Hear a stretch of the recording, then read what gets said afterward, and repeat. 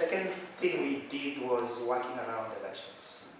For those who know Kenya, 2007 elections was not an interesting scenario. Mm. And Africa is increasingly getting that way. Elections are becoming increasingly violent. So for us, it became interesting how to then begin to build platforms around data that can create transparency and accountability around elections. This was something that we just built. I won't go to that history. Uh, but as part of that uh, story, we, we, we, a couple of things started emerging. That uh, citizens were, especially around the conversation of the elections, were talking about improvement of governments but unresponsive to citizens. And that is why in the morning I was critical about aid because is that aid really responsive to the needs of citizens? Do we have data from that other side that can be able to layer to actually mesh up and say the aid that is being given, was there really a conversation with citizens or was there enough evidence to say that we really need that kind of development aid? Uh, the, the notion of services, services have expanded but issues of quality and availability. Uh, it's something that we've been seeing as citizens have been increasingly demanding. It's not about a hospital. Is the hospital working? Does it have the right quality of doctors? Does it have the right medicines? Is it generic? Is it is it counterfeit? Is it is it is it original? So there are a lot of conversations that are there. Third is citizens are not interested in current stuff. If you provide them 300 million was provided for water, they're not interested in that. They're interested in a thousand shillings. I, I buy 20 shillings or, or my bill is about one euro a month from, for water that comes to my house.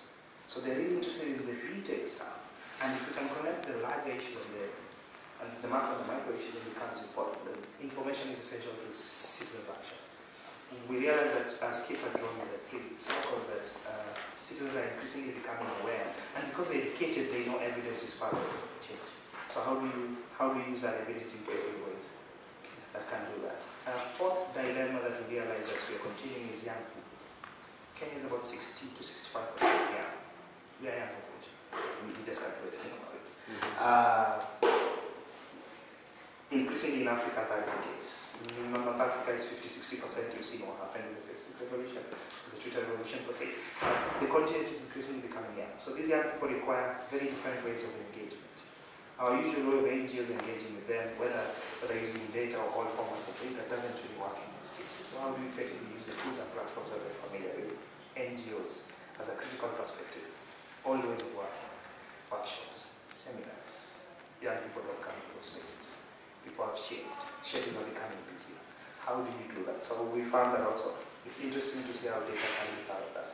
So we did uh, an election monitoring platform, again, the partnerships, the Red Part. Red Part is government. For the first time, simply having a platform with good data, with good quality graphics, with good quality partnerships, we're able to bring a government agency. That platform is a government is, is, is, is a government-led platform and piece of and piece NGOs. And based on the platform, we're able to bring them into a space which they are simply part of a. They're not even leading. These are the leading organizations. They are not even there. They are simply a contributor to that. And and were quite. It was quite awesome because they contributed a lot of data, a lot of election data, a lot of location-based information, a lot of contact information for responses in case of violence. So that was that we found was interesting which did not exist before. And that is why before the presentation I was mentioning, in, in, in spaces where there's really no data, what do you do? Uh, you need to curate it. And that is why we're actually excited about uh, the, the standards conversation that are coming. So that is what just basically happens. Using the data and, and using very good information, uh, citizens were able to amplify their voices observers. Observers were able to put the data in a way that government could act and respond to. The media were able to report on elections very differently. For those who followed the Kenyan elections last year, you'd actually know. And, and we've, we've had conversations with media practitioners that the coverage was very different, simply based on, on data and the information that was provided. Uh, and that was simply the sort of engine that was used for you who are familiar with Ushahidi. That was the engine that we used, but just tweaked it a bit uh, for, for the elections. Part of that you can actually see there was a lot of data issues there. There's observer layer data and government data that were meshed up to provide. Uh, yeah. And then visualizing, of course, on a map, uh, timeline, SMSs were able to be, uh, people are able to subscribe.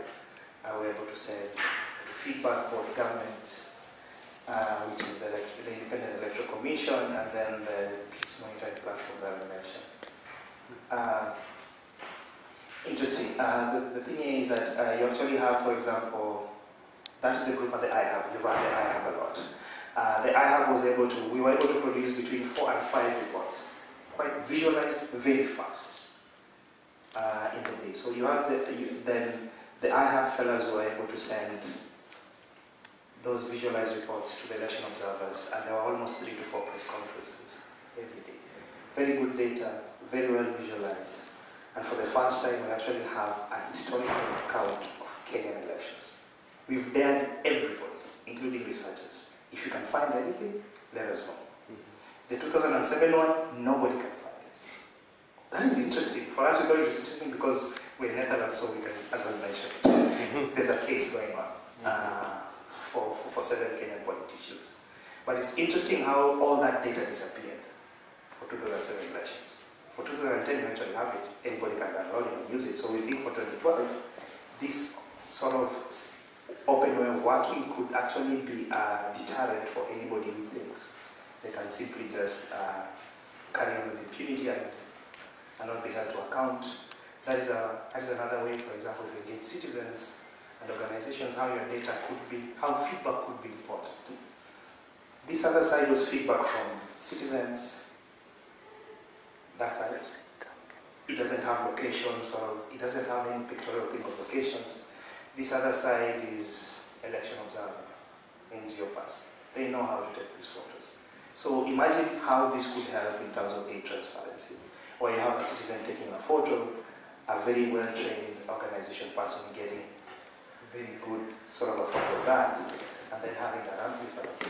The case and point for this was uh, elections is just one day. So this came in at about uh, 10, 10 a.m., 10-ish.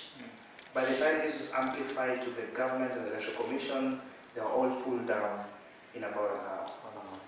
So it, it tells you it tells you how that works.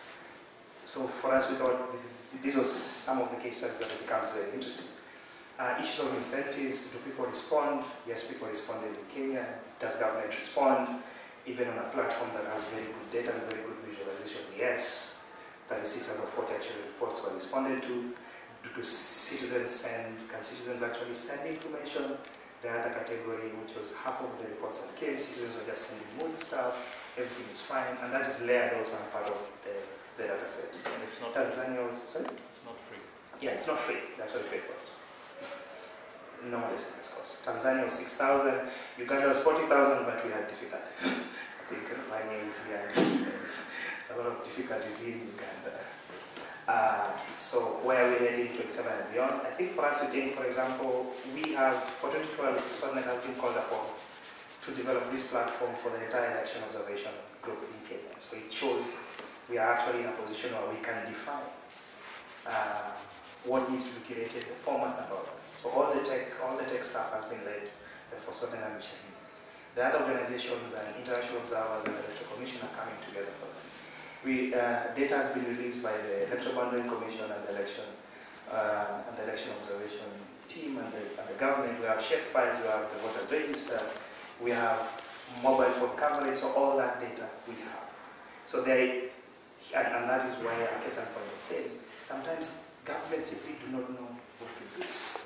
So when you have an opportunity like that, it becomes very interesting between citizens and civil society in conversation with the government can actually be able to shape uh, open data and open data standards. September 2011, uchaguzi.co.ke is up, but what you'll get is data for the last election. If you look at it in two months, you'll actually have a newly improved uh, version of the platform.